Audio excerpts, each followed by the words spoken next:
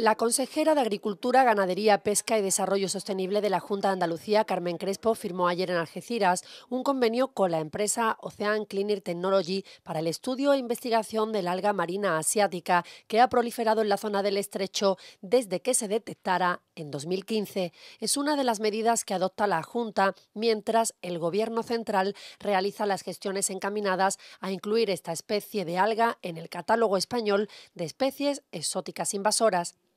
De este modo, la consejera resaltó que el objetivo es trabajar de forma eficaz desde la lealtad institucional para frenar la incidencia directa que el alga está teniendo en sectores como la pesca y el turismo.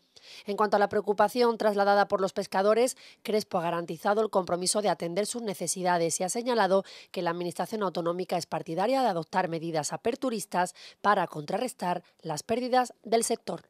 Estamos muy preocupados por nuestros pescadores y a partir de ese momento pues tendremos que estudiar también qué posibilidades tienen en el futuro después de estudiar qué pérdidas han tenido debido a esta alga. Estamos ante una cuestión pues eh, dificultosa, ¿no? Todavía no, no se ha producido una investigación que pueda decir, y eso los científicos lo saben bien, cómo combatir este alga invasora. Para nosotros ya lo es, aunque no esté en el catálogo por parte del Gobierno de España todavía, pero sabemos que esto va a ser así.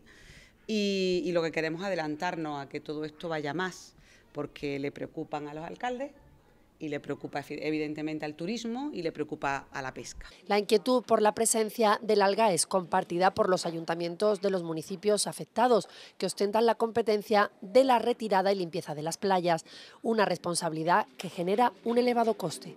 El tema del alga eh, nos lleva costado mucho tiempo y mucho esfuerzo. Es decir, nosotros casi, mm, casi mil toneladas de alga invasora hemos retirado entre el año pasado y este, casi mil toneladas. Y en euros, pues pueden ser 100.000 euros el gasto, pero puede ser algo más porque son muchas horas de los trabajadores de playas que se dedica. Es decir, que no es cualquier problema, no es un problema baladí. También agradezco a la Junta de Andalucía y también agradezco al puerto porque el puerto está colaborando, la, autoridad, la nueva autoridad portuaria de la Bahía de Algeciras también está colaborando. Así que bueno, así es como se puede ir avanzando. Cuando hay eh, entre las instituciones una actuación de colaboración. La empresa Ocean Cleaner es una entidad puntera en innovación y especializada en residuos y vertidos flotantes. Aportará un barco en la zona del estrecho para realizar la investigación de ecosistemas marinos, establecer áreas prioritarias de acción y un estudio medioambiental que permita el desarrollo de una tecnología para facilitar la retirada.